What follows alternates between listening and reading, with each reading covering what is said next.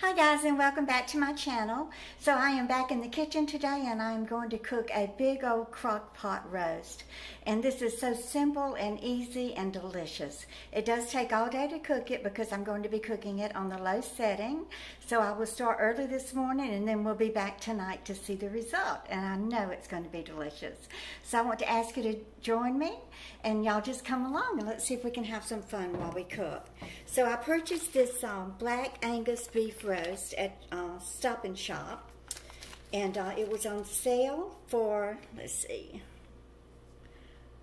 $3.99 per pound, so I got it for $11.09, which was a great buy because y'all know roasts are like the regular price here, $20 for a nice roast. And it is a chuck roast, so it has plenty of marbling in it, and it's just absolutely beautiful. So I am really anxious to cook it. It's got a lot of fat in it, so that means a lot of flavoring. Okay, so I'm going to go easy on the salt because I am adding a packet of the Lipton um, onion soup mix. So I just put a little salt, pepper, a little paprika, and then this is my mixture of um, garlic powder and onion powder. So let's just go ahead and rub that in a little bit. Gonna sprinkle a little bit of my secret ingredient, my Lea and Perrins Worcestershire sauce. So let's get this rubbed into the roast also. So into the roast, in addition to the soup mix, I'm going to be putting my onions, garlic, mushrooms, potatoes, and carrots. I'm really looking forward to this. It's a big roast, so I'm going to slice it up and divide it up and probably get, oh, let's see, probably seven meals out of it, I would say at least, maybe eight. So with the potatoes and carrots, I don't really need that big of a slice of meat. I do love black pepper, so I'm going to go very generous with the black pepper. I have a little bit of flour here, so let me go ahead and uh, coat it in just a tiny bit of flour. And let's go ahead and get this braised. Okay, let me add a little flour to this side. I may need to get another tablespoon just to thicken the make a little roux out of it. We'll see. Let me just rub all of this in real well. Gosh, it's been a very long time since I cooked a, a whole roast. May have to put a little more lard in there. Like I said, I do want to get a little bit more flour. So let me get my bag of flour out.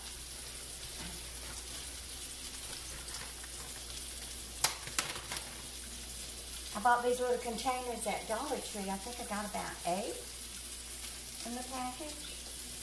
So they're real handy and dandy to use in the kitchen for pre-measuring my ingredients. So what I'm going to do is saute the onions and the mushrooms a little bit because I like them caramelized some. But you can just dump it all into the crock pot, however you prefer. I'm just showing you the way that I do it. I did spray the inside of the crock pot with Pam, and I have it set on the low setting. If this does have, have to cook about 8 hours 9 a.m. So it'll be ready right at dinner time, about 6 p.m.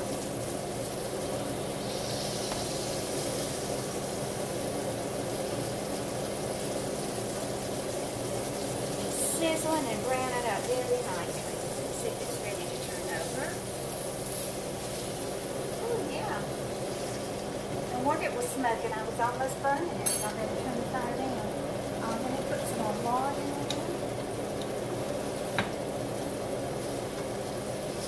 it. wait for this to fall apart inside that crock pot. It is going to be scrumptious and delicious. This side is about brown enough. I'm going to go ahead and transfer it.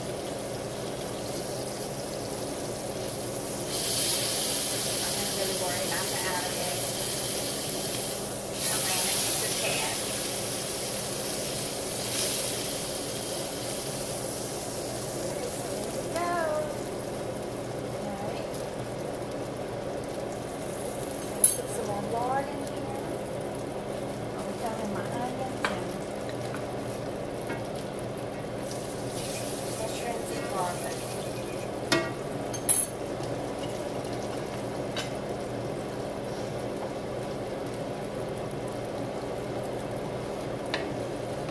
and I really enjoy cooking with this lard, y'all. It sure flavors everything.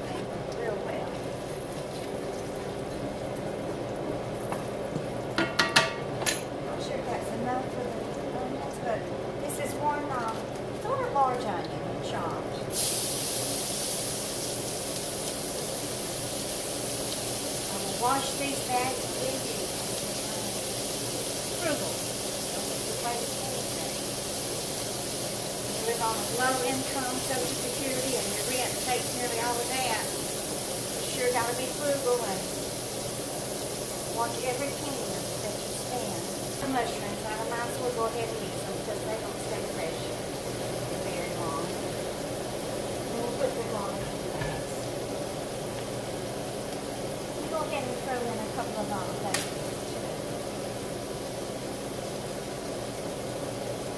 And flavor it really nicely. Y'all, I heard an ABBA song the other day and I can't stop singing it. It is in my brain. Dancing Queen. I don't know the words to it, but it keeps going over and over in my head. That's what happens when you have OCD. You get a song in your brain and you can't stop singing it. Okay, we'll let these saute for a minute, then I'll go in the garlic, and then we will, um, Saute the carrots. This is about five small carrots. I just have them diced up. Throw those in there.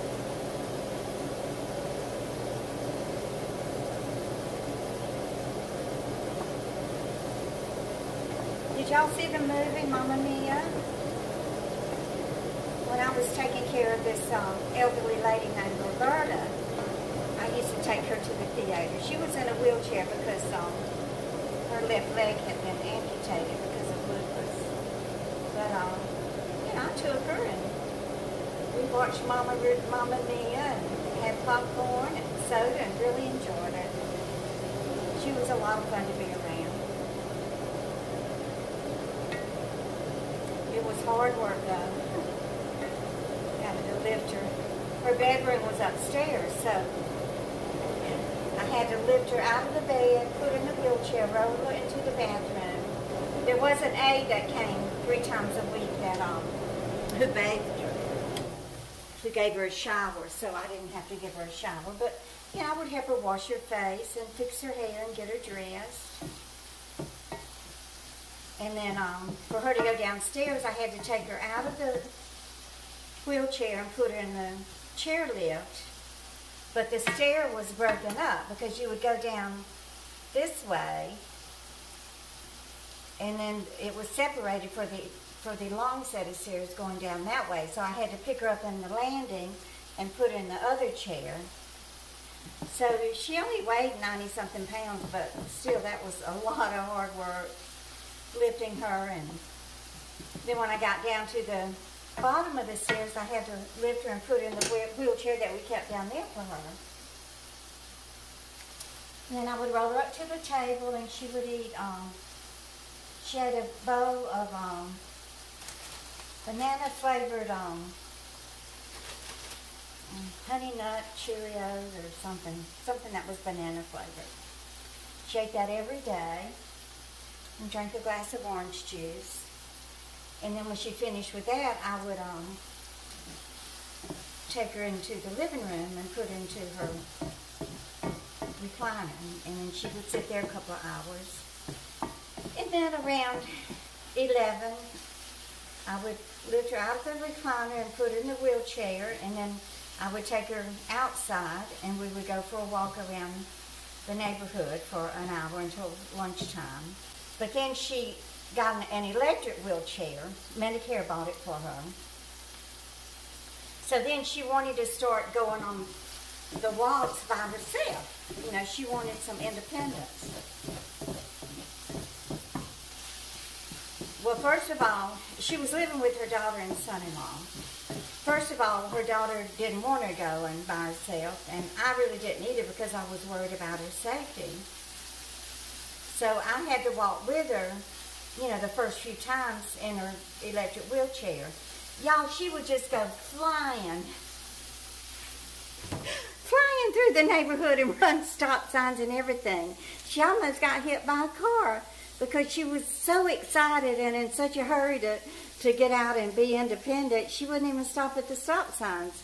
So we finally taught her, you know, you, you really have to stop at the stop signs and look both ways as if you were driving a car. So she finally did gain her independence and get to go um, by herself in a wheelchair.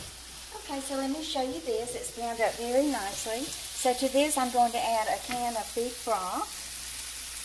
Here we go, the beef broth. And then I will thicken this with the, the flour. I'm not going to brown the flour and make a roux. I don't think that's necessary. You just thicken this with a little bit of flour before it gets too hot and then it won't dissolve.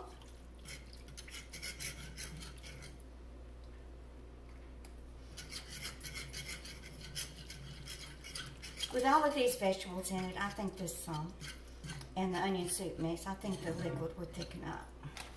Okay, so I think I'll just go ahead and add this Lipton soup mix to this. Okay, let's just stir this up a little bit. Put a little bit of my garlic powder in here. A little paprika.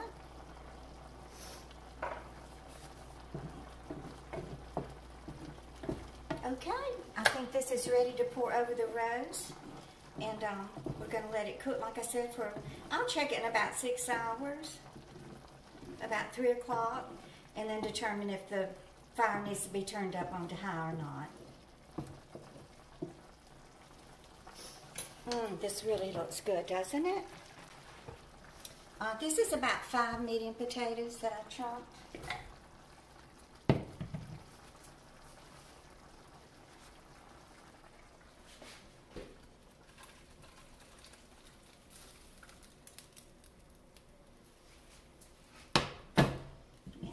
water to sure I get all of that goodness out of there.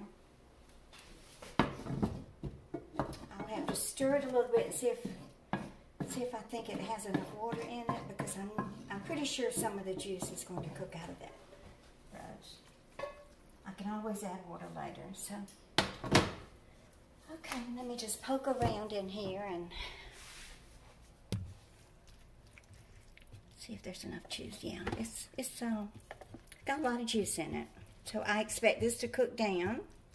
Like I said, I'll be back in six hours to check on it. It is on the low setting. So I'll be back and show y'all what it looks like in about six hours. So see you then. Okay guys, so this is the delicious pot roast that has been cooking all day on low in my crock pot and I cooked me a pot of rice. I'm going to eat it over the jasmine rice. And I know it's going to be delicious. So I hope that you will try this recipe. I know that you will love it as much as I'm going to love it. And you just add whatever vegetables you want. So thank you for watching. Please like my video and share. And subscribe if you're just passing through. And y'all just keep on coming back. Bye, guys.